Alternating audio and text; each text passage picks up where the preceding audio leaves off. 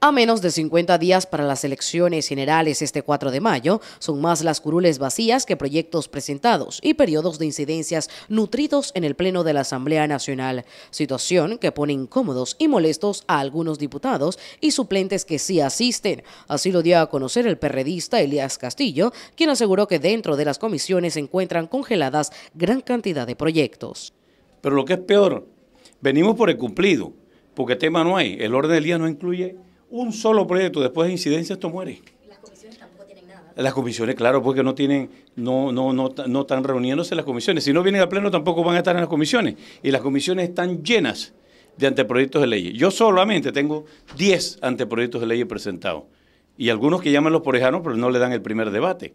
Quien salió al paso de las críticas fue el oficialista Vidal García, quien reconoció que se encuentran en un periodo electoral. Sus colegas están cumpliendo con todas las agendas parlamentarias, aseguró García. La agenda hoy pues no tenía nada importante, pero se cumplió con todo y se agotó la agenda. Ahora, esto, este ausentismo por parte de sus colegas se da al tema de campaña.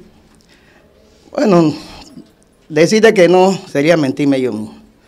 Estamos todo el mundo está en una campaña cerrada, eh, la política no está fácil, eh, los candidatos están eh, cerca cada uno de otro, así que nosotros tenemos que cerrar fuerte.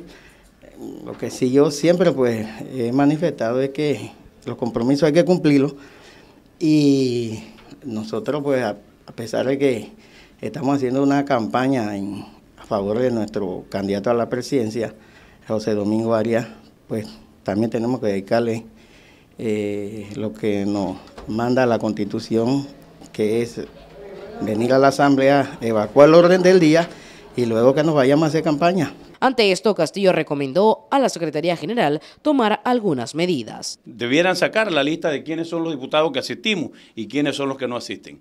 Eso es, es una vergüenza. La comisión más activa en las últimas semanas ha sido la Comisión de Presupuesto, en donde han desfilado varios ministerios y direcciones para solicitar traslados de partidas. Con cámara de Eduardo Dutari para Plus Canal 35, Génesis Yaret Recuero.